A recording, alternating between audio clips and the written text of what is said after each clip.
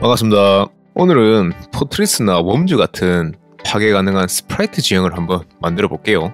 지난 영상에서는 스펠런키 스타일의 tilemap 지형을 뽀개봤는데 구현 방식이 비슷해서 앞에 영상을 보셨다면 아마 좀 더 간단하게 느껴지실 것 같아요. 갑시다. 구독과 구독 알림 부탁드릴게요. 먼저 sprite를 생성하는 것부터 만들어 봅시다. sprite object 하나 만들어서 그라운드라고 하고 동일한 이름의 스크립트를 만들어 넣어줍니다. 우선 넓이 100, 높이 20픽셀짜리 텍스처를 만들고 set 픽셀 함수로 텍스처의 모든 픽셀에 흰색 컬러로 세팅한 후에 apply로 texture를 적용시킵니다. 여기서 알 수 있듯이 텍스처는 색상을 저장하는 배열집으로 생각하면 될 것 같죠? 그리고 sprite create를 써서 이 텍스처를 0,0부터 텍스처 넓이와 높이만큼의 사각형으로 sprite를 만들어 주는데 피벗은 0.5, 0.5로 가운데 설정으로 했습니다. 여기까지 플레이. 픽셀 단위로 만들었기 때문에 어, 엄청 작죠?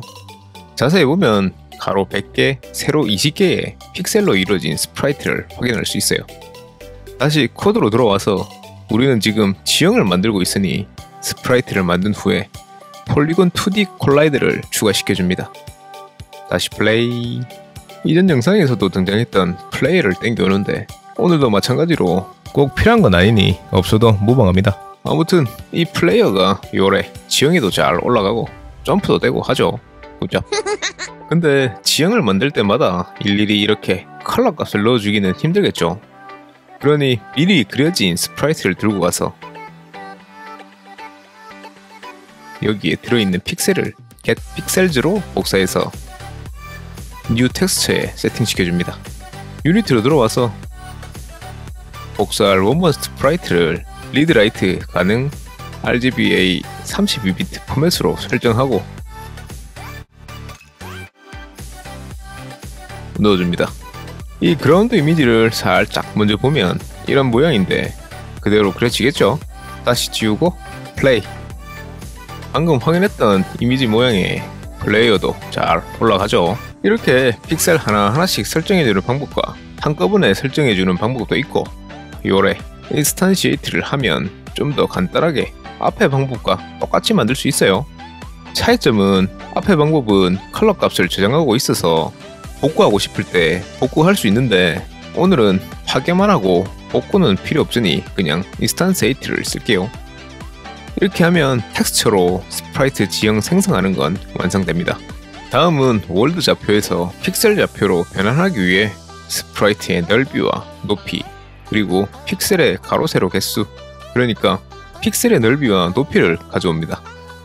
일단 들고 온 texture로 만든 sprite 지형은 너무 크니까 아까 만들었던 100 by 20짜리로 볼게요.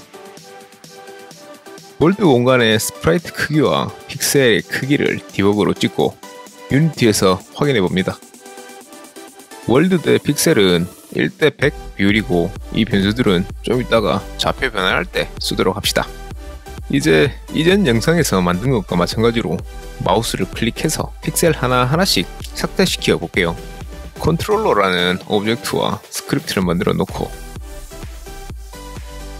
이 스크립트에서는 클릭한 위치에 오버랩되는 collider가 있으면 위치를 인자로 make dot 함수를 호출해줍니다. 그라운드 스크립트에는 이 함수가 없으니 이제 만들어줘야겠죠. Nope. make dot 함수에서 구멍을 뚫으려면 텍스트의 픽셀을 set 픽셀 함수를 이용해서 해당 좌표의 색상을 없애주면 될 거예요. tilemap 파괴할 때는 world2 cell이라는 API로 바로 world 좌표에서 tilemap 좌표로 변환할 수 있었는데 world 좌표를 픽셀 좌표로 변환하는 함수는 없으니 이것도 만들어야겠죠. world2 pixel 함수는 벡터 3를 픽셀 좌표인 정수로 반환합니다. 클릭한 위치와 sprite의 위치 차이인 델타 x에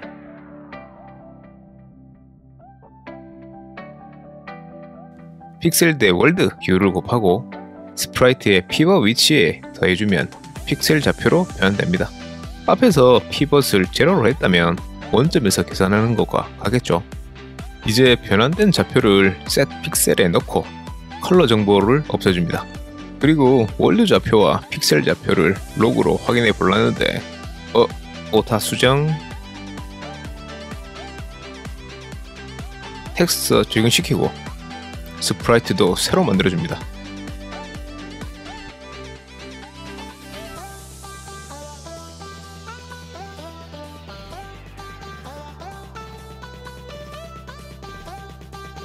이제 플레이를 하고 클릭을 하면 왔다 뭔가 이상하죠? 코드를 보면 역시 오타가 있네요. delta Y로 변경해주고 다시 플레이. 다행히 이제 잘 되죠. 픽셀 한 칸씩 지우니까 잘 보이지도 않고 비효율적인 것 같아요. 일단 설명을 위해 작성했던 부분들은 지우고 다시 큰 sprite 지형을 불러옵니다 이제는 마우스로 찍는 위치에서 한 칸 위, 아래, 좌우로 한 칸씩 해서 한 번 클릭할 때 다섯 칸씩 효율적으로 지워볼게요. 플레이. 아까보다 좀 더 크게 삭제되죠? 이제 폭탄을 만들어 큼직큼직하게 한 방에 지형을 뽀개 봅시다. 폭탄으로 쓸 object를 대충 하나 만들어서 Circle Collider, Rigidbody, 추가하고 Body Type은 Dynamic으로 했어요. 폭탄 영역으로 쓸 object 하나 더 만들어서 폭탄에 넣고 Point Effector를 넣어 사방으로 밀어주는 힘도 추가합니다. 그리고 Is Trigger가 true인 Circle Collider와 Rigidbody를 추가하는데 Ground인 지형은 Rigidbody가 없는 Static 타입이었죠. 그러니 폭발 범위에 Rigidbody는 Static과 충돌할 수 있게 Kinematic으로 설정하고 스크립트도 넣어줍니다. 자식인 폭발 범위 object를 가져와서 Ground에서 폭탄이 터지게 하고 터질 때 폭발 범위 object를 active 시킨 후 폭탄은 파괴시킵니다.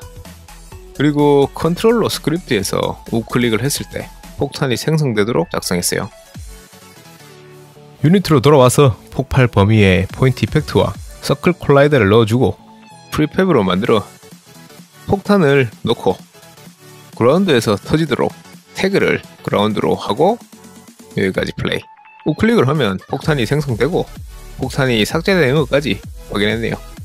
이제 이 폭탄이 터질 때 폭발 범위만큼 Ground가 뽀개지는 함수를 만들어 봅시다. 폭발 범위 collider를 받아와서 중심을 픽셀 좌표로 저장하고 폭발의 반지름도 픽셀 비율로 구해줍니다. 이중 포문에서는 굉장히 스마트하게 모든 영역을 체크하는 게 아니라 0부터 반지름까지만 돌면서 폭발 범위인 반지름 내부 영역만 아까 한 번에 다섯 칸씩 지우는 것처럼 한 방에 위, 아래, 좌우 4픽셀씩 픽셀을 지워서 파괴시킵니다. 사실 이 부분은 GitHub의 코드를 참고했는데 그래서 그런지 지난 영상의 이중 for loop보다 훨씬 더 효율적으로 동작하는 것 같아요. 만일 tilemap의 이중 루프처럼 모든 픽셀을 검사하고 구멍을 뚫는다면 아마 이 정도 퍼포먼스는 못 냈을 거예요.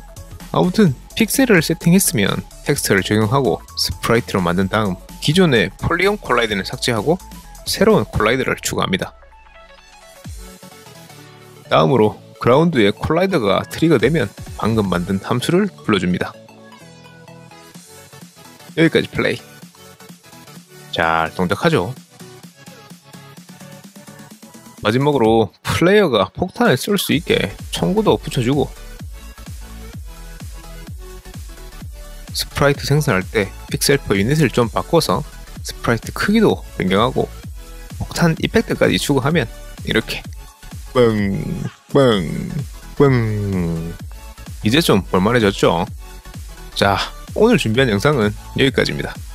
구독과 좋아요 부탁드리고 긴 영상 끝까지 봐주셔서 감사합니다. 다음 영상에서 또 봅시다.